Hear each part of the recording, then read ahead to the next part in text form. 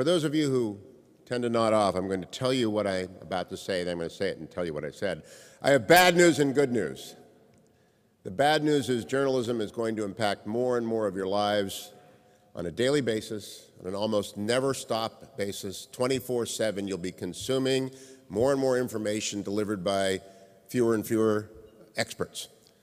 The good news is that more and more of those journalists are being trained here at the Dow Center by John Miller and the other faculty at Hillsdale, so that's the good news.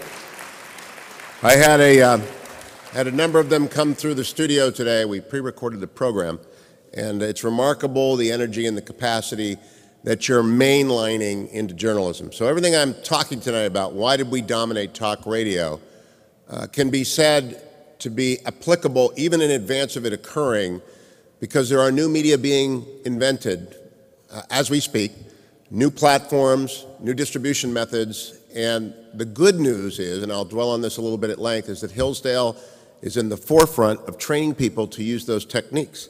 And I can't overestimate how important that is over the long haul. I had three journalism students in there today, all of whom want to go to Washington, D.C., which is terrific, and all of whom are going to have 50 years of professional capacity or more. And that's 150 years of professional capacity sitting in front of me. And I began to estimate the number of tweets they would send over the course of their 150 years. And so Hillsdale is influencing every single one of those tweets, which in turn influences the information arc in the direction of the country in profound ways. So I'm very glad, grateful to be here. I'm even grateful to see Larry again, largely because Penny came with him. But It's great to be back here. Arnn is a very dangerous man to have as a friend. Uh, of course, I was talking about him on the air today, and I made I referred to him as Prince Oberyn of the radio. Now, given that this was a reference to popular culture, he had no idea what I was referring to.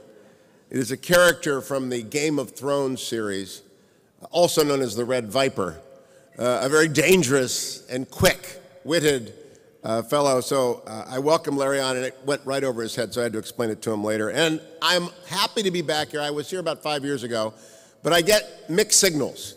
I'm only invited in January. And so it's a kind of a passive aggressive approach. And I think it's because so many of the faculty here have been guests on the radio show over the years. Dr. Ray was talking to me earlier and welcoming me, and I haven't seen Steve Smith yet. I don't know if he's here yet, but over the over the period of years that we've been doing the Hillsdale Dialogue, I've gotten to know a number of, of your colleagues and your faculty members via the radio. I'll see you on the radio. And I think it's been well received, and I think they like coming on, but January, again and again, it's always January. My intern last summer, Jack Butler, is somewhere here. Jack was a, uh, a terrific addition to the Hugh Hewitt Show staff this past summer, and he was on today doing an exit interview uh, in front of as many million people as were listening. And I asked Jack how he'd done. He's very fast. You have a very good cross country and track program here. So I said, Jack, how did you do in the turkey trot in Cincinnati? 13,000 people competed in the turkey trot in Cincinnati. Jack finished fourth. I said, wow. I said, you know, if we adopt the Belichick rules, we can just get rid of those three next year and you'll win. And he said, that would not be the right thing to do. So you've taught virtue as well as uh, competitiveness. Uh, when I was last here at Hillsdale, I spoke about rectitude. And uh, I did so in the context of talking about George Washington, which is not a hard task. Uh, rectitudinous is a word that would go easily with George Washington. And so uh, I thought I would have a subject tonight that has absolutely no crossover with rectitude and George Washington, which is journalism. Um, in fact, there's zero recycled material because there is, generally speaking, no crossover between rectitude and journalism. We are called ink stain wretches for a reason.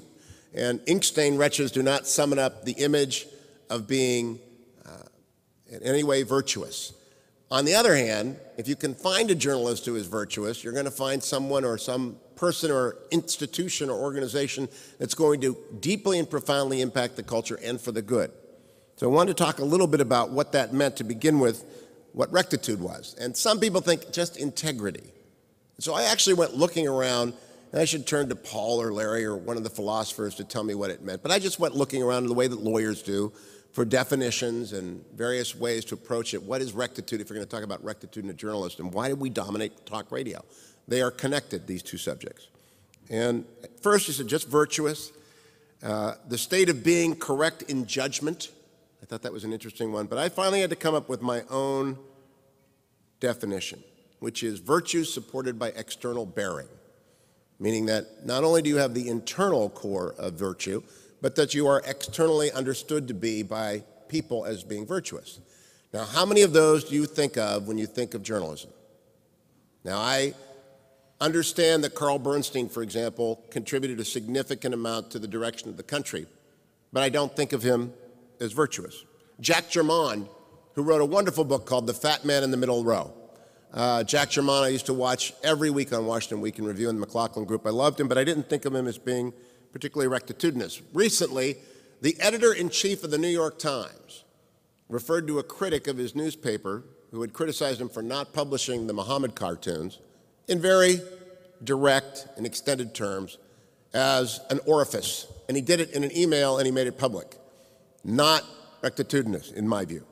On the other hand, there are many who are. I think of Mark Steyn as having incredible rectitude. Uh, and I, I know he's been a guest here on the, on the campus. He's got such courage. He has courage in abundance beyond any other journalist that I know. In any situation, he will just speak the truth plainly, and he's a man who's lived a virtuous life. I know some other ones, for example. Uh, William F. Buckley elevated every room that he ever went into, and I was only in a couple of them, but I am told, and John Miller would probably know this better than I, and there are some here will know Buckley very well, that he was indeed who he th thought him to be and was a joy to be around. Joseph Epstein, uh, who has graced your campus a number of times, seems to me to be a particularly uh, great example of someone who possesses not only great amount of talent, but a remarkable amount of rectitude. He has a new book out, A Literary Education, which shines a light on his young life, which allows you young people to understand that if you have not yet been rectitudinous, you can be in the future. He lived one heck of a life in Chicago when he was young. But I, um, I nevertheless think of uh, journalism as not something in which people are going to find, but then you turn to politics. And you ask, who's got rectitude in politics today? On Saturday in Iowa, there was a remarkable parade of would-be presidents uh, that included people who've been on campus, Ted Cruz. Uh, they had Marco Rubio. No, Marco Rubio is not there. I correct myself. They had Carly Fiorina. They had Scott Walker. Uh, Scott Walker strikes me as being an individual who's just overwhelmed, uh, over, overflowing with rectitude. He believes in what he says. He lives the life that he says he's going to lead and he absolutely gives you confidence in his transparency and his authenticity. And that is part of that rectitude thing. So if you want to improve the public, you've got to elect people like that. In order to elect people like that, you've got to have a media that will celebrate those virtues. And if in fact you find those virtues to be corny, or you find those approaches to politics to be old fashioned or helplessly out of date, you're not going to have a media that is supporting virtue in the public square. Now, I think that there's a model out there, and it's talk radio, that shows how to succeed in the new media world. And that's why I wanted to talk a little bit about how conservatives came to dominate talk radio, because I think it's going to teach us how conservatives are going to come to dominate the new media as well. There's a lot of media everywhere at all times. Last night I drove over, I was in Washington, D.C. yesterday to uh, participate in Meet the Press, which is quite an honor. It's a high occasion. It's uh, the, the biggest brand in all of media. I had not been invited before. I was pleased to go. I shared the stage with Tom Brokaw, who wrote The Greatest Generation and Boomers and anchored the NBC Nightly News. And he's a fine guy, South Dakotan, plain spoken. I don't know his politics well enough to guess. Uh, Kareem Abdul Jabbar was in the house, so that was kind of interesting. Took all the pressure off because no one wanted to talk to you. They all wanted to talk to Kareem. Uh, and Chuck Todd, who's turned out to be quite a remarkably good moderator. He asks questions and he allows you to answer the questions, which is my model and has been the model of journalists I've admired across the political spectrum for a long period of time. Just to let the questions to be asked and to be answered. So I went from the height of that to driving across from Detroit last night, flew in before the storm got to the East Coast, and I was listening to various, I was listening to BBC World News Service last night, and uh, fascinating couple of reports, but then it, it got off on some tangent that I was not interested in, Wales or something. And so I turned to ESPN radio, and I heard a, an interviewer talking to Jerry West. Now, how many of you know who Jerry West is? Incredible basketball story. one of the greatest basketball players of all time. 14 years at the Lakers, then he became a coach of the Lakers, general manager of the Lakers, maybe one of the greatest basketball geniuses ever. And I was listening to the interviewer ask completely inane questions of Jerry West, thinking to myself, here is here is a person that you could ask about any, about shooting under pressure, about winning, working with Wilt Chamberlain, Elgin Baylor. You could ask him to compare the teams of them to the teams of now. Uh, the Cavaliers with LeBron and Kyrie and, and, and Kevin Love versus Baylor and Chamberlain and Jerry West. And instead, it was, it was Pablum. And I thought that is such a perfect illustration for the audience. I stopped and pulled over and I said, make sure you tell them that every interview you hear is either well done or poorly done. And that person did not execute very well because that individual, and I, I know his partner a little bit, who was not doing the interview, was not prepared to talk to, hadn't done any preparation, wasn't ready for the opportunity to take a mundane 15 minutes and turn it into something special. Not ready for the moment. So much of journalism is this way. There are so many eyes and ears available right now. Do you know that Facebook has 1.3 billion active participants? Twitter has 284 million accounts. Skype has 300 million. Snapchat, which is really relatively new, has 100 million. These are all platforms that did not exist a decade ago.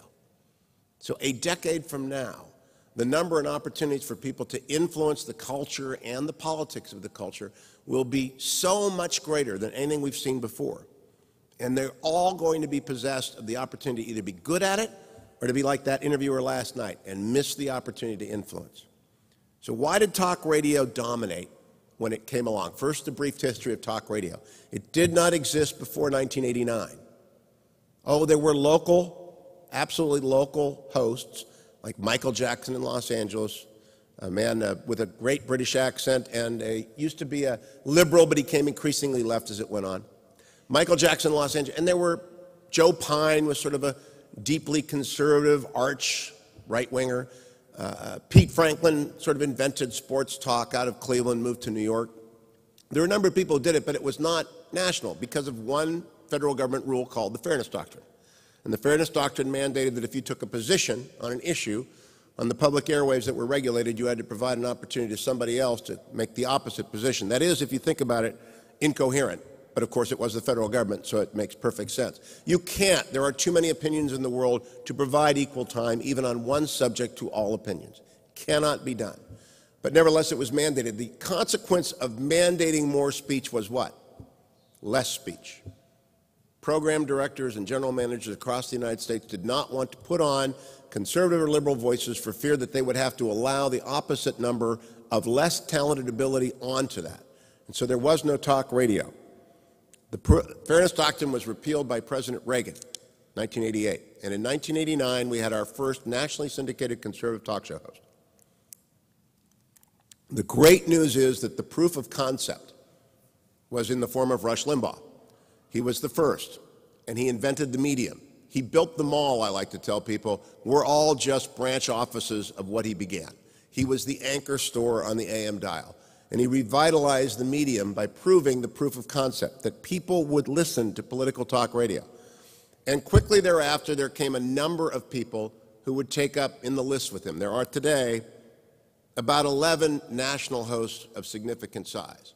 But the first three mega hits, uh, the first three giant supernovas of talk radio, were Rush Limbaugh, Sean Hannity, and the third one was pretty late in the list. Mark Levin is a giant supernova.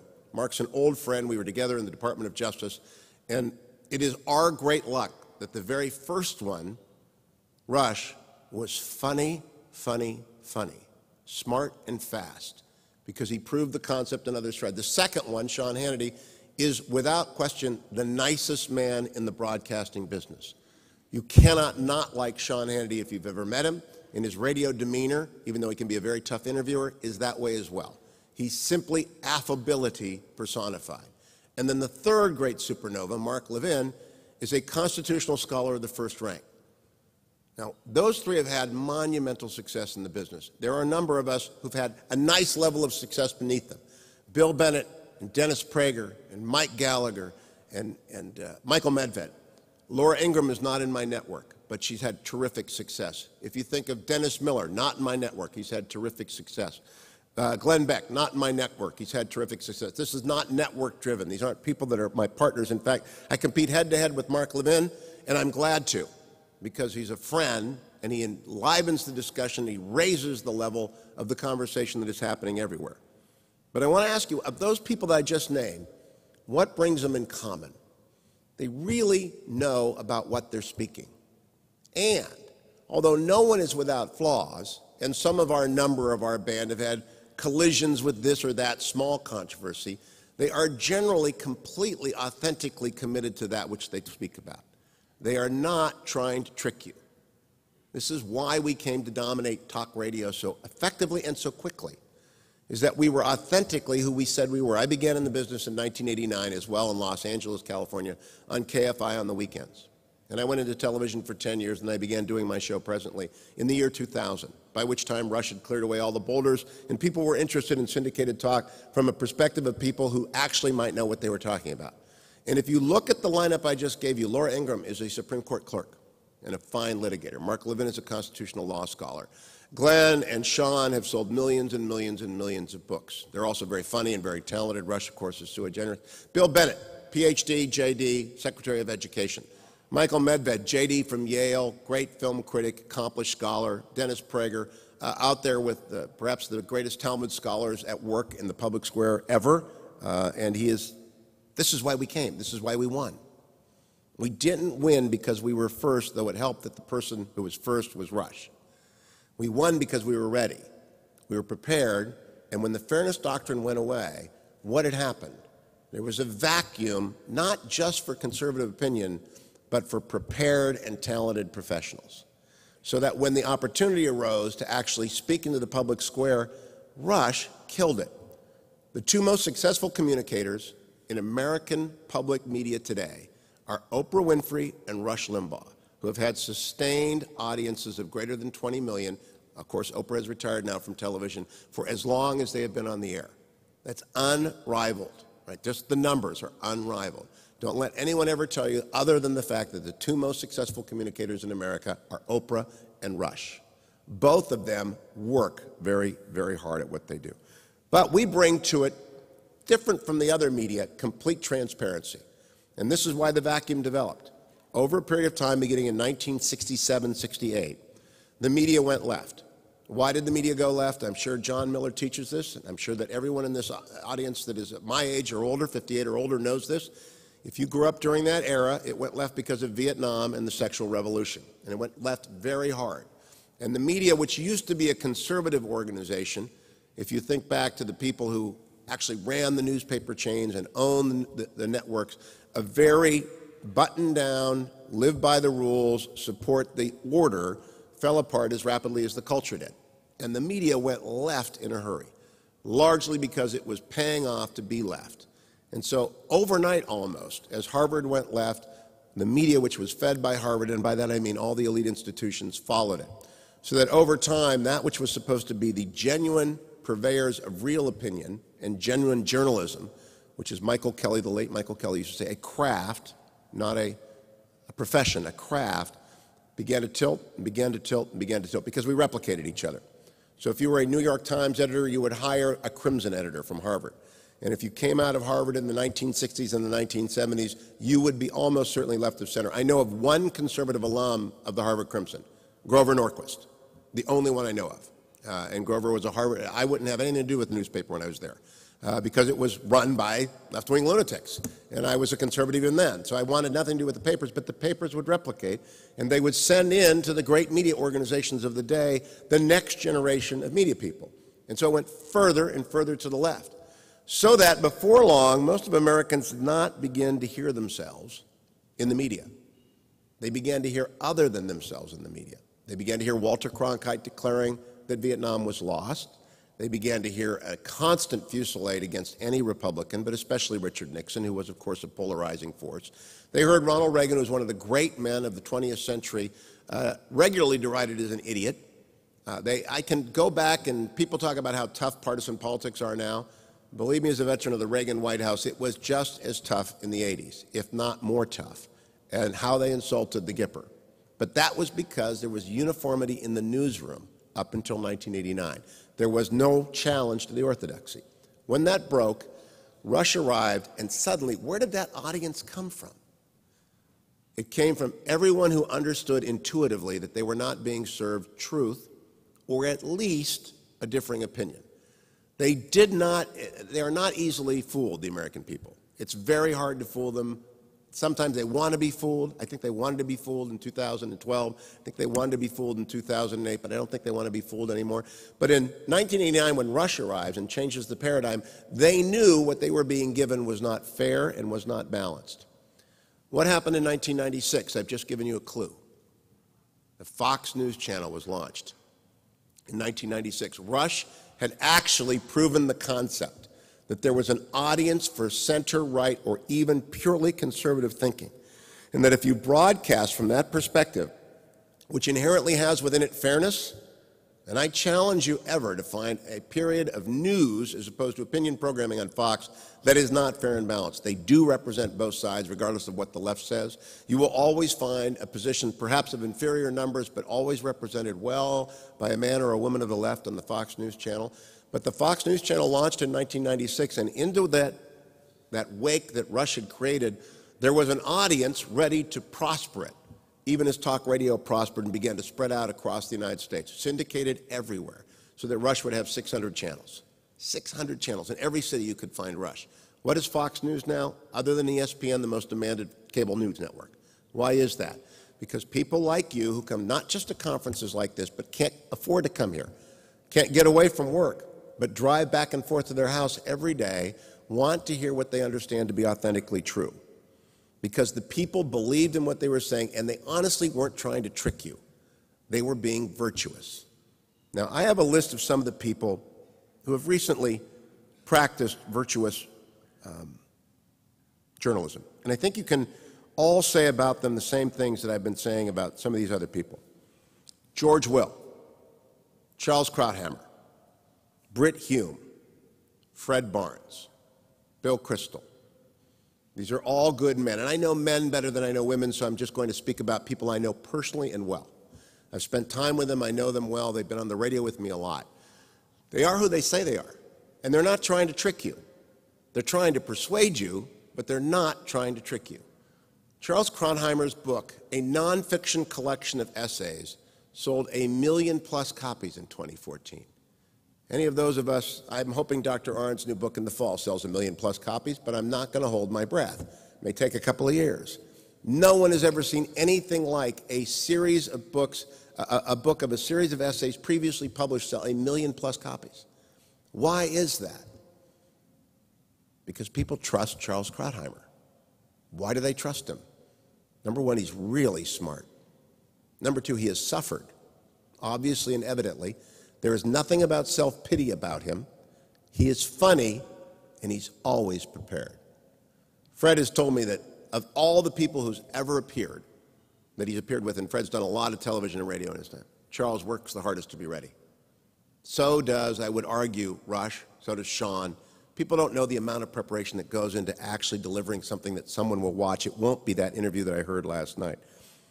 And what I am hoping to persuade you about is that the next level of media, the next generation, being trained here at Hillsdale, if they bring these same qualities to this vast array of instruments, will influence the culture purposefully and wonderfully well. Because it's never been this easy to get into media. It's never, I was asked at lunch today by Jennifer, I don't know if Jennifer is here. I had wonderful lunch with Jennifer and Janet today, and a bunch of great students. And Jennifer, how did you end up in media? And I can honestly say I've never asked for a job in media in my entire life. People have called me up, which does not happen. And there are eight crucial words which I told Matt at lunch. The most eight crucial words for a young person to know. Have you ever considered, and I know a guy. And so when I got a telephone call from a KFI program director in 1989, have you ever considered doing talk radio? I said, why not? It's got to be working. And I, absolutely it did be working. So I would start out in that radio. That doesn't happen anymore. That was the bad news. You had to be invited into the club up until fairly recently. Now you can force your way in by sheer talent and hard work and training. which is what I'm going to come to at the end here about what John Miller. We dominated talk radio because we were ready, we were prepared, we were who we said we are, and we performed well, and we worked very hard at it. Now, in front of us is this new media world, which includes, by the way, micro videos. You realize that most young people will watch something for less than 90 seconds before they make up their mind? That it's a very acquired skill before they will, they will turn it off. So you have to catch them. You have to grab their attention. The attention span of the average Hillsdale student, I'm quite certain, is much greater than the average attention span of the ordinary student. So you've got to be able to get the hook in. Then you've got to be able to entertain and inform and at the same time shape and form. So, to John Miller and his young charges, I have sort of five challenges. First, you have to teach them to be good. First, you have to teach them to be good. Michael Kelly was, before Mark Steyn came along, my Thursday first segment guest. In the radio business, Thursday is the most important day for a lot of reasons having to do with how you rate shows and gain revenue and add. Thursday is it, the first segment. That's why Mark Steyn anchors that. He has for years. But before Mark started, Michael Kelly was there. Michael Kelly was killed in the march to Baghdad in 2003, December of 2003. For the three years prior to that, he had held down that slot that Mark now holds. And Michael Kelly was a good man. How many of you know his name? He was an extraordinarily gifted writer. And his parents were both journalists. And Michael would say again and again and again journalism is a craft, it's not a profession. All you have to do is be good with words and with ideas, and no one can stop you from entering. He also wrote one of the greatest columns of all time, which I recommend you Google tonight Christmas Lights Michael Kelly. Because all of the world is divided into those who like white lights and colored lights. Michael Kelly was a colored lights man, man, as am I. But some people are white lights men and women. And to them is their own domain. His wife was a white lights woman. So when a colored lights man marries a white lights woman, conflict ensues. And that's what this column is about. It's a beautiful piece of writing. It's a beautiful piece of writing. Go and read that. But he was a good guy. And he was very humble, very self effacing. And why in the world was the editor of The Atlantic and a syndicated columnist and a Washington Post editor who didn't need to do anything? Why was he in an R- M- MRAP in, going into Baghdad where an RPG could knock him into the river where he drowned in the Euphrates. What was he doing there? He was a journalist. He was working. That's what he wanted to do. He wanted to be where the story was so that it would enrich his experience of everyday life and he could bring it forward to people. That's why he was good. He was really good because he believed it. Number two, I think the best journalist and the reason that we have dominated talk radio is to an individual that I have just discussed. I've left some people out purposefully. But everyone I've talked about is gracious. That doesn't mean they are never angry. I've had a few memorable confrontations on the air myself. They're infrequent. Sometimes anger enters into it. Anger doesn't mean not virtuous. But I'm usually not angry. And I try very hard to be very gracious, even with my left wing lunatic callers when they get through. And I make a habit of inviting lefties onto my show and hoping that they show up and that we have some great conversations. E.J. Dionne is regularly on my show. Joy-Ann from MSNBC, Jonathan Alter from Bloomberg.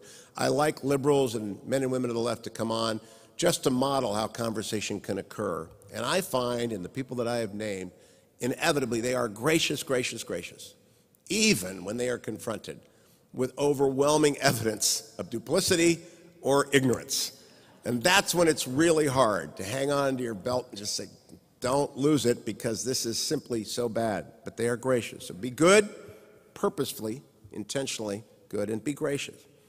Number three, be grateful and be able to name the people who gave you the opportunities in the business because it creates in you a desire to make sure that there are other opportunities along. I don't know how John gets all these Hillsdale students their gigs, except he must have been incredibly gracious and opening to other people because all of these Hillsdale students are finding opportunities that just don't exist for a lot of journalism programs in America. And if you come to Hillsdale, uh, just from what I've known for 10 years, you're going to end up with a shot. Doesn't mean you're going to win or succeed in journalism because of these other qualities I've talked about. But if you got onto the radio, you could win. You could dominate by truthful, factual reporting, and you worked pretty hard. But someone had to get you onto the radio. Someone had to give you an internship at the Free Beacon. Someone had to get you to the Wall Street Journal or to the Washington Examiner or into Salem Radio or any of these hosts, and that comes from having been grateful and being aware of. And people in my business almost always have an eye for talent. They know it makes you look good and better to bring up people who are younger than you, so they're almost always willing to work out and look very hard. Number four, I've mentioned, I don't think that John has to be taught this or anyone else here. Teach them to work very hard. Uh, the long day of a journalist is what goes with the territory. And I guarantee you, when Rush sits down, I guess at noon in the East, because it's nine in the West, he has already been at work for six or seven or eight hours. I know when my day starts, the hardest shift in the business is the morning drive shift because you have to get up in the middle of the night to be ahead of the news. And you have to be news breaking, and you have to be ready, and you have to be current. That this work ethic is not easily maintained. I, uh, I've got this relationship now with Chuck Todd. He comes on the show almost every Friday, invited me back on his show. You know, I reached out to Chuck Todd because when he was a nobody in the business, he ran something called Hotline. How many of you know what Hotline is? Hotline was the only condition I had in my first radio contract. They had to buy a subscription, which was phenomenally expensive in the year 2000, $4,000 a year for Hotline. Chuck Todd edited it. It was a daily compilation of all the political news in the world, and it was no good to you if it didn't arrive on your desk by 8 a.m. 8 a.m. in the East, 5 a.m. in the West. I was doing morning drive at the time. I had to have Hotline. Couldn't read all those newspapers. I had to have someone else do that. So, what time do you think they were getting up? It's incredible how much time. So, he is a very hard worker, as is everyone who's really any good at this. And so, I know that the Hillsdale dialogue, that, the Hillsdale curriculum requires people to work a great deal to be conversant in the subjects in which they're going to be quizzed by Dr. Ray or anyone else. Bad ethic wins. That wins every time. So when Larry Arnn came on the show tonight, and I was complaining about the drive here last night because the roads were kind of slippery and I've lost my edge as an Ohio lad. He said, You know, those of us who are about the business of saving the country don't whine much. Appropriately rebuked, I shut up and got to the interview. But he was right. People who are about the business of saving the country in journalism or in talk radio don't whine much. They just do their jobs. And then finally, and this is the hardest thing, and I think the reason we succeeded the best in talk radio, why did we dominate from 1989 right to the present? It's because we actually believe that if we lose, the country loses. That the people in this business genuinely believe in American exceptionalism and they understand that this country is the last best hope. My friend Dennis Prager, who's a wonderful, wonderful man, as much as fun as I make of Dennis, triple it, and that's my esteem for him. And I make a lot of fun of Dennis Prager. Um, his last book was called Still the Last Best Hope. 600 pages, dense. You can't make that up. You can't pretend to believe that. If Michael Medved writes a book, The 12 Lies About Capitalism, you can't make that up. You can't turn these things out. We write our own books. Nobody ghosts them in the side. You know, you cannot fabricate or counterfeit the genuine need, if you're going to be successful in journalism of opinion variety, to be a patriot, not a parasite. And Rush is a patriot. And he's got his flaws. We all have our flaws. Sean has his flaws. I have my flaws. But every single person in talk radio that I have talked about tonight is a patriot. They want the country to succeed. They're generally alarmed by the, the direction that it's gone in, and they want to hold up and elevate that which works. Now, here's the good news, and which I'll close on, and then we'll take some questions, is that by so doing this, you end up creating a dynamic that goes far beyond the media. You create citizen activists. I don't know where the country would be if the fairness doctrine had not been lifted in 1989. I don't. I don't know where people would have gone to prove the concept that Rush proved. No Rush, no Fox News. No Rush, no Fox News, no George W. Bush. Why? Because of Rathergate. Because in the wake of those two things came the blogs. So it was first it was Rush and talk radio, then it was the Fox News channel, and then the conservative blogosphere came up. Prior to 1989, there was the National Review, there was the American Spectator, and a few very high end publications that people could enjoy if they had money and leisure, but it was still by mail and the Pony Express. Afterwards, everything began to flood the zone. So we are winning because of that transition. And if we keep turning out craftsmen like John and you are turning out here, we're going to win because we have the added benefit, to quote Kissinger, of it being true. We're on the right side. And that's why we dominated and we won because it was right. And that's why we're going to win the next generation. Thanks for having me tonight, by the way.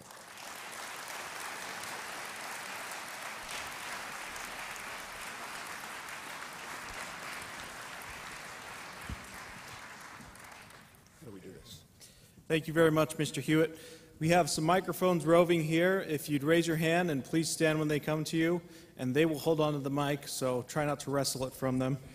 Uh, we got a little while here, so please ask away, and uh, we'll ask. We'll we'll go till about nine o'clock. That's right. Yeah. I'll go longer if you want, but it's cold out there. Go ahead. Thank you for speaking to us today. Um, Ms. Atkinson, who was here yesterday, told us that there's not a systemic media bias, that there are good reporters who want to get important stories out, but it's the editors and executives who self select. Do you think that there is a systemic bias, or uh, what's the case with the, uh, the media today? Excellent question, reflecting a good journalistic sensibility because you listened carefully to what she had to say yesterday. I disagree with her. There is a deeply systemic bias because of who selects to go into it, unproperly formed. So that most, as, as I said, the career path for most of the elite media organizations begin in the Ivies, and they self-perpetuate, and they are not going through the Hillsdale rigor. You, can, you cannot take any classes at all, but if you're on the Crimson editorial staff, you'll find a job in big media. You'll be at CNN. I had a very telling experience with the senior political economy reporter for the Huffington Post, and it was painfully embarrassing to him. I'm not going to name him because it became evident to me in about five minutes for the senior political economy reporter of the Huffington Post that he had not a clue about the world he was covering, but he had a lot of opinions. He had not even heard of Desert Fox. Desert Fox was the operation against Saddam's weapons of mass destruction launched by Bill Clinton in 1998. Yet he presumed to critique George W. Bush on the basis of striking at non existent WMD. So I asked him to square up with Desert Fox. How could Bill Clinton have been right but George W. Bush wrong? He was unaware of Desert Fox. He was the senior political economics correspondent for Huffington Post. How could he possibly write anything that made any sense at all? He'd come out of the University of Virginia. How had he gotten hired? Came out of the University of Virginia. He said the right things. He had the right attitudes. He told me he had marched in a couple of demonstrations against the war. If the intake valve is bad and it lets in everything, and everything isn't required to learn anything, you have systemic bias. So I think, I don't know how Cheryl's path went, but I, I, find, I find it astonishing that people have not read, and I, I can't, I won't name people individually, the, the Looming Tower. The Looming Tower is the single most important book to have read about the war that we are currently engaged in by Lawrence Wright, who is a man of the left and the senior politics correspondent for The New Yorker. It is the history of Al Qaeda. It is the genealogy of Al Qaeda. From which did they come? How did they get here? Who thought up Osama bin Laden? Turns out it began in Greeley, Colorado, believe it or not, with a man named Sayyid Qutb, who was here in the post World War II era and became radicalized and went back to Egypt and took the Muslim Brotherhood, which had already been founded, and made it very, very radical with a couple of books called Milestones and Under the Shade of the, the Banyan Tree. And so this is what this is what I think is sort of basic first principles that you've got to know to cover it. I can't tell you how many journalists have not read that. They're not obliged to. And so the systemic bias is really not about I'm only going to hire uh, people who voted for Al Gore in 2000. It's not that crude. It's actually very sophisticated. It's a self-perpetuating credentialism that uh, to a certain extent, Hillsdale is defeating because it's created an alternative credential, one that is immediately recognizable in the world of serious people and conservatives. So that if you're working, if you're the editor uh, at the Washington Free Beacon, Matt Continetti, and you want to know if someone's prepared to do good work and work hard and be correct in their facts, you see Hillsdale, you'll hire it. But until that comes along, they're taking as the systematic credential the Harvard Crimson or the University of Virginia Daily Paper or the Yale Daily News, and what it once stood for, it doesn't. So I, I, think she's just wrong, and we have to disagree. There's also story selection bias, which I think is what she was referring to. Dan Rather, who she probably worked with, once said, News is where you look. Very true. If you don't have a path forward. If you don't know what you want to find, you won't, you won't ever find it. In Rathergate, when the allegations were made against President Bush of non service in the National Guard, that was a completely self fulfilling prophecy that they wanted to be true to the exclusion of the evidence in front of them. It was false.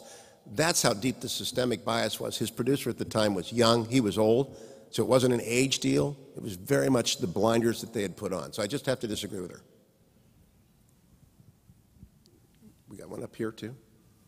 Thank you so much for coming and speaking to us tonight. Um, so I know you mentioned Twitter and the conservative blogosphere, uh, but besides talk radio, where do you see conservatives really making an impact in media? Uh, the, um, the Washington Free Beacon, the Washington Examiner are our go-to online sites now. Townhall.com, to which I'm a contributing editor, is a great aggregator, but original journalism is primarily coming out of those two and some of the old dogs like National Review. Uh, if you go to National Review, Eliana Johnson, who I was talking with John about today, is one ferociously talented reporter. She's 29. She's the, where is John? What's her title? What, what's Eliana's title? Washington editor of National Review. She's 29 years old. Uh, and that's because, and she was a Fox News producer under Sean Hannity. Then she went to National Review and began to write. A lot of the mostly young talent is just forcing their way onto the stage by virtue of productivity and story selection, and they dig, dig, dig. Eliana went to Nicaragua with Rand Paul for a week. Nobody my age will do that. You know, we just, we're not going to go do a medical mission in Nicaragua to get a human interest profile of Rand Paul. You have to be young and crazy to do something like that. And so there are lots of young and crazy journalists out there. Then to put it forward, there are so many places beyond those three, but I'm just saying if you wanted the most credentialed things, I, IJ Review is a Facebook phenomenon. It's got the highest traffic of any conservative site out there. Not many people, how many of you read IJ Review? It's not, it's not very well known, but it's driving the metric at the under 30 age. So we all get our media from different places, but I do not discount Twitter. I happen to believe that Twitter is the, is the shorthand for everything. And in fact, I was reading along in Dan Balz's wonderful book about the election 2012 called Collision 2012 and I was stunned. Of course, I did the Washington, D.C. thing. Richard Viguerie will know this. A book is always checked first for its index to make sure whether or not they've referenced you. And Collision 2012 hadn't referenced me, but I'm not upset by that thing. I know Dan Balz, so I started reading through. I didn't expect to find myself in the book. And I did. He quoted a tweet that I issued in the middle of the second debate, first debate, between Romney and Obama. Uh, and it summarized a lot of what was going on in the Twitter sphere. Do you know there's no need for a spin room anymore? The spin on a, on a debate is over before the debate is over. The die is cast by Twitter before it's done. You know who runs Twitter? Mostly the sub 30 demographic. They're snarky enough and they're funny. It's a delicate enough touch. It's so fast that if, if, if we unleash the trained and the talented and the truly good upon the Twitterverse, we'll win. So I, I think it's those big platforms to do longer form stories with the means of production evident in Twitter and IJ and uh, a couple of other sites. Right here. Here's a microphone. Thank you very much. I guess I have basically two questions, or question and partial statement. Going back in history, it seems to me William F. Buckley deserves some recognition here relative to our conservative future because without him there would be no conservative future. The other part, and I guess that shows my age. No, no, But- that shows your wisdom. But the other side of that is the left seems to think that social media belongs to them. I am convinced that this is the genie in the bottle that will unleash the conservative revolution that is yet to come. Uh, you are, you're absolutely right about the latter. I want to pause though and give you a Buckley story. Everyone had a Buckley story. I have one. When I was young and really full of myself, age 17, I wrote a piece that I thought was really the cat's pajamas.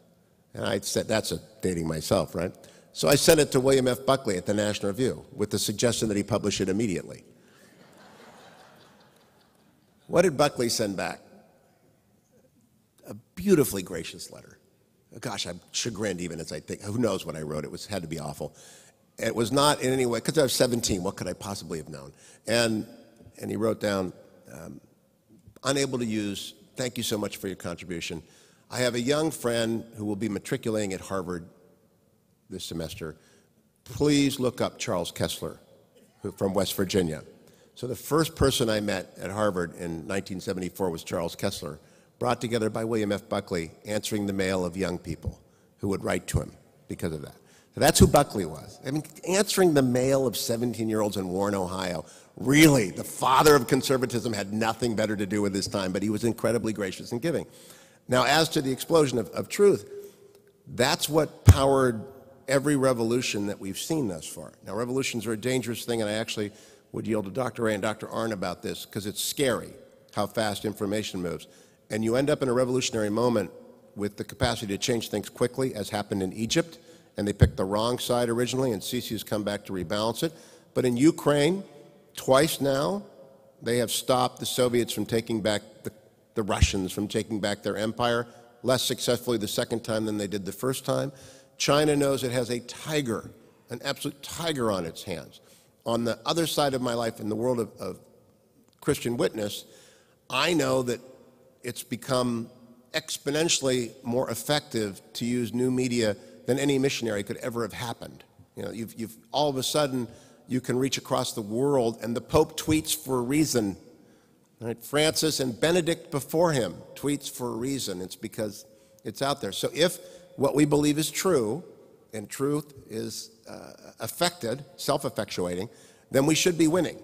And there are some old barriers to blow over, uh, and I, I think we will win. I don't think people will put up with other than that, but there are also some very deeply vested interests that don't want to. So I hope I, I gave One other thing about Buckley, he invented good television before there was good television. The firing line is not known to anyone in this room that's under 45, right? I mean, maybe under 50. The firing line was beautiful to watch if you were young. It was just a beautiful thing to see because he would, he had Malcolm Muggeridge on often. And I would sit there, the words I didn't understand, the arguments I could barely glimpse, but Buckley's idiosyncratic delivery, the charisma of intelligence, he really, he really set the standard very high. Yes, sir. Uh, earlier in your lecture, you linked um, George Will to rectitude.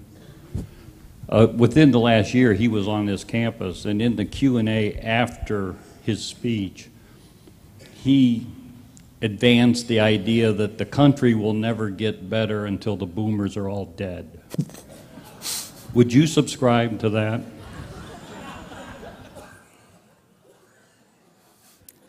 George Will wrote a great column, it's indirect, wrote a great column about Bill Clinton at the end of the Clinton presidency, which I can quote from memory because it impacted me so. He may not be the worst president we have ever had, but he was certainly the worst person to be president. In that, he simply reflected the, the problems of his generation the problem of entitlement and of overabundance and of a lack of suffering and a lack of, of scarcity and a desire on the part of that generation's parents not to put their kids through what he went through. So I think if he's referring generally to the idea of self indulgence, I mean, we have borrowed $18 trillion and spent it. And it was uh, illustrated to me this past weekend by an individual who said, I went to lunch and I, I told eight people at a conference, eight young people, I'm going to lunch, would you like to go with my friends? And they all said yes. Said, well, you can't, but you're going to pay for our lunch. And that's what this generation has done $18 trillion worth of debt. And uh, it's, a, it's a sad, unfortunate truth. So, all dead, I don't know if necessarily dead, but out of the political circus, that would be a good thing.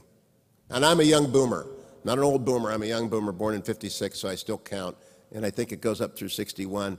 The only problem, here, here's the good news, and I was talking about this earlier with, with Larry Arnn about in reference to Tom Cotton, Mike Pompeo. There's a generation of warriors rising up people who've been in this war, men and women, all under the age of 40. They are going to reconfigure American politics if we just hang on long enough. Uh, a lot of people have gone to the war. They're very serious, very effective, very disciplined. They're going to remake American politics, but we just have to hang on for 10 more years. Yes? Thank you so much. I am a big fan of the Hillsdale Dialogues. They're helping me write my thesis, so thank you. Oh, good. That's more Larry and Paul than me, but good. No, no, you're great. Um, I had a question because this evening I saw on the Drudge Report that Obama still has a 50% approval rating, and I'm mystified by this, how he can maintain that number. You had said earlier that Americans um, no longer want to be lied to, they no longer want to be deluded. Um, can you explain perhaps why he still has these numbers? Sure. At, at a crucial moment in time, he didn't, when it came time to actually vote. And I think psychologically, it's a lot easier to say, I like the president and I want him to succeed, than it is to say, I don't like the president and I don't want him to succeed. Uh, and, and that's just, the American people are generous and large-hearted, and they don't want the president to fail, and he's such an epic failure. It's, very it's almost unpleasant to consider how bad a president he's been. From the perspective of anyone with children or grandchildren, you just know how badly awry the country has gone. Larry referred to it glancingly in his a couple of minutes of remarks there. It's, it's a very bad situation. But they don't want him to fail, and they don't want him to be as awful as he's been, so they'll say things like that. But when it came time to vote, it was a repudiation unlike any that we've had in a very long time. It was personal. But he has, as Dr. Arnn said on the radio today, chosen to interpret it. His victory is irreversible. And as a result, he doesn't care. His State of the Union was completely contemptuous of the vote of the people. And to a certain extent, he, the immigration executive order rallied the left to him. So he's rallying the base, uh, and that will, be as, that will fade. This president is going to be so wildly unpopular by the end of these two years because it's all, uh, you know, gasoline has fallen, and we're all grateful for that. That's a lot of it. We're not, we're, we're, you know, Saudi Arabia is pumping as fast as they can in order to bring down the regime in Tehran, and we're all a little bit happier for that. So that's part of his thing. But it's not a genuine economic recovery, and we all know that. And so I'm not, I don't think that's stupid on our part. I think it's overly emotional on our part. Here we have one right here. Oh, okay. Oh, get the microphone. They want to record it. You mentioned a lot of people tonight that I certainly have a lot of respect for, like, like Rush Limbaugh and Charles Krauthammer. I'm curious, you never mentioned Bill O'Reilly. I was curious as to what you think about him. Oh, Bill is a, a wonderful entertainer. Uh, he's a, a, very provocative interviewer. He invented his own format, which is, is, is as I said, it's entertaining. And he's, he's done a fine, pretty good job of turning out some books of, of general interest. Uh, but it's not my cup of tea because Bill interrupts like Chris Matthews. And so his counterpart is, is Chris. And I don't like it. And I can't do that. He's been a guest on my show many times, and if you're prepared to ask Bill questions and listen, it's a great interview. He's a terrific interview. Uh, in fact, he, will always say something newsworthy and noteworthy, but I, I, don't hold him up as, as virtuous journalism because I, I don't really know what Bill believes as to politics. Do you? When he sat down with the president for the Super Bowl interview? Yeah, I, uh, in fact, Glozell, Glozell had a tougher question of the president than Bill did when she asked him about the Cuba. How could you deal with those dictators? That was the toughest question. You know why Glozell got such bad press from the American uh, establishment media? Because she was tougher on the president than any of them in the White House press corps had been by asking him about the Cuba thing. So Bill's a wonderful entertainer. He's a tremendous success. He's one of a kind, but he's not what I'm talking about. And he didn't, didn't work in talk radio either, by the way. Didn't work.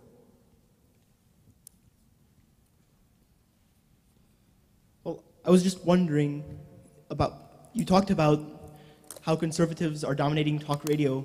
I just wondered, could you give us some more about how why they're dominating talk radio specifically, rather than any other form?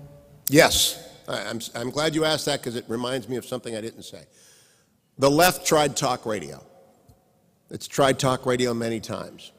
They had Air America. They've had a number of individual shows. My friend Bill Press had a weekend show same time I did. How many of you listen to Bill Press every day? So why does it fail? They have a built-in disadvantage called NPR. NPR is a subsidized left-wing outfit that has for years taken the cream of their uh, P1s, we call them in our business, meaning the listener who listens the most, and taught them to listen to NPR. You can't get a liberal away from NPR. It's like cocaine withdrawal for an addict to get a liberal away from NPR. So they can't, there's no market share for them to win. So that's one reason that, that we've won is that, they, they don't, They can't compete on the field. And they won't acknowledge that NPR is liberal, so they can't, they, they shackle themselves, so they put their best talent to work in mainstream media and NPR, and they never quite come out with that. The second thing that I'll, I'll circle back to, I said it once, but perhaps too quickly, is it's long form. It's three hours. I love working in television. I love radio and television, but if you, if you forced me to it, I'd stick with radio. For one thing, my career is longer because no one sees how old you are on the radio. Uh, and you, you don't have to be 25 uh, to be in the radio. But secondly, you have enough time to do an interview of any length on any subject. If it's good, it will attract an audience. There is no more long form journalism. 60 minutes passes for long form journalism. And they'll interview you for an hour and they'll cut it down to eight minutes and that will be the end of it. And it's, it's ghastly. Most television is ghastly. And so yesterday, Meet the Press, I did the, I did the math today. Hour long show, take out the advertising, four guests on the panel with Chuck Todd. I was on for five minutes. That's an eternity in television. That was, I got to make three or four points. I went in there wanting to make a point about Iran. Yemen was, I knew we were talking about Yemen. And I wanted to make the point that Yemen is not about Yemen, it's about Iran. Right, so it's about the Islamic Empire extending itself through Beirut, through Damascus, uh, even through South America. I wanted to make a point that the Iowa Freedom Forum was mostly about Common Core. People think it was about immigration. No, the, and I checked this out with James Hohmann of Politico, fine young reporter, 28 years old, superstar rising, just works, works, works, works, works. And I sent James a tweet public tweet. James, how many times has Common Core come up in the course of today? He tweeted me back. He'd been in the room for every minute of the, session, tweeting away, at least two dozen times. So I brought this up to, to Chuck on the panel and got the message out to the three million people that watch Meet the Press that Common Core is the issue that is driving domestic politics in the Republican primary. Know, this is news to the liberal elites, right? They can't possibly believe that's true. How could anyone be against improving education and parents are waving their hands and saying, Stop. This is a nightmare. This is a beast, and I can't do the homework, and my kids are upset. And then the third thing I wanted to make was a point some of you will like and some of you won't is that I think Mitt Romney, I'd done some reporting, 80% certain he's going to run for president. I wanted to make the point that it's unique circumstance. Uh, in American politics, if you lose the election, you don't get invited back four years later. Uh, nobody was clamoring for John McCain to run in 2012 after he lost in 2008. No one was clamoring for, um, excuse me, uh, uh, who lost in our 2004 cycle? John Kerry to come back in 2008. No one, no Democrat wanted him to come back. Chuck pointed out that Al Gore had a little boomlet, a little boomlet in, uh, in 2004 after he had lost in 2000. No one wanted Bob Dole back in the list in 2000 after he lost in 1996. No one wanted George Herbert Walker Bush back in 1996 after he lost in 1992. Why is there this Romney thing? Because he has a hardcore base of support of between 30 and 40 percent in the party. Mike Huckabee got 40,000 votes in Iowa in 2008. Rick Santorum and Mitt Romney each got about 30,000 votes in 2012 in Iowa. He's got money. He's going to be in. Jeb is going to be in. We're going to have 15 people in the Republican primary. We're going to have a brokered convention. That this is, I just think the rules are going to work out, and that's a good thing. It's going to be a terrific thing. I want everybody in there making arguments. Dr. Arnn and I were talking about this on the air today. That draws attention to our side and, and illuminates the political landscape with continuing conversation. Last night in Palm Springs, Rand Paul, Ted Cruz, and Marco Rubio sat down before the Koch summit. The Koch brothers promised to raise $900 million to spend on this election cycle. Yoo-ha. I like that. Spend it on radio. Uh, but I'd want that. That's lightning in a bottle. Ted Cruz has been on this campus. I don't know if Marco Rubio and Rand Paul have been here, but I know uh, Ted Cruz has been here. I'd take that show on the road. That's better than Barnum and Bailey. I know because I do this all around the country. I just have to bring one or two interesting people together, and folks show up because they're interested. Look at you. Why are you here? It's January, it's Michigan. Because you're hungry for some substance that you don't get in the ordinary media. If you were getting this at home, you know, this is an aside, we're running late. There used to be something called Chautauqua. How many of you know what Chautauqua is? They are, they're still out there and they still operate, they operate on a different premise. when the Americans in the summertime would want to hear lectures about important topics delivered by people with expertise in their field. That's what this is. It's just Chautauqua, four times a year, with Matt and the Hillsdale staff making it possible for people to come here and, and have an extraordinary intellectual experience. That's what's missing in our media, and that's, I think, the 2016 election is going to bring us. One more? All right, Matt's cutting me off. No, it's, it's a hook. They all want to go home. Go ahead. I think one other aspect, Mr. Hewitt, or I should call you Hugh since We we're had lunch. contemporaries, um, is that with, with conservative talk radio, unlike other things, there's not the Gruber effect. What I mean is that we, as, you treat us as listeners with great reverence, with great affection, and you treat us as what we are intelligent human beings that can handle the truth and can, can analyze issues from different perspectives or different aspects maybe we didn't think about before. So that, that respect for your audience and treating them that they are intelligent human beings is so attractive. And that's why we listen hour after hour. Thank you. You know, I wish I'd said that. Um, it's going into my remarks. Um, it is absolutely true that I am not afraid to play the other side's speeches at length. I play the president's press conference. I'm not afraid that my audience is going to be misled, and I don't talk over people, and I'll interview any liberal. There's a reason why Democrats won't come on my show if they're electeds. They won't get out of there. And it's not because I'm mean or abusive, it's that you just can't answer these questions. Chuck Schumer couldn't last 30 minutes with me. Uh, because if you start asking about the sanctions bill in Iran and about their habit of acting since the 1978 revolution, there is no way to defend a nuclear deal with Iran. It is impossible, and he knows that, so he will not go in harm's way. Which is why, by the way, as to systemic bias, back to the last, I'll, I'll finish by going to the first question. Why is it that if any Republican goes on any Sunday show or mainstream media, they will be grilled, absolutely grilled, on the specifics of their policy? It will be relentless, it will not stop. Tim Russert asked, the late Tim Russert, who was very good at his job, asked Dick Cheney eight questions in a row about his heart condition. Eight about his heart condition. He wouldn't let it go. If the president goes in harm's way, he gets one question. It's like a tame set of reporters. They do not pursue, and he never puts himself in harm's way.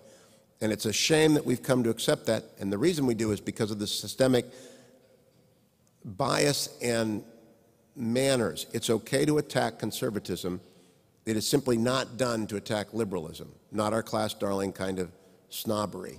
But I think that's being overturned by Twitter, and as, as, as someone here said, we're winning because you, the truth is just relentless. It's 24 7. And if we're just gracious and we don't have to worry about anyone persuading our audience of anything, our audience is smart. You know, and, and, and by the way, we have the statistics to prove it. Higher education, higher income, uh, more mobility. The reason we sell what we sell is because there, there, I sell cruises that cost $10,000 a berth. Who's going to buy that, right? That's a very select audience. And uh, the, the fact of the matter is, we're very comfortable with our people. We understand that they are not going to be shined on. And if I ever try it, boy, the flag goes out, the penalty flag goes out in a hurry. They know it. Thank you so much for having me. Thanks for supporting Hillsdale. Good night.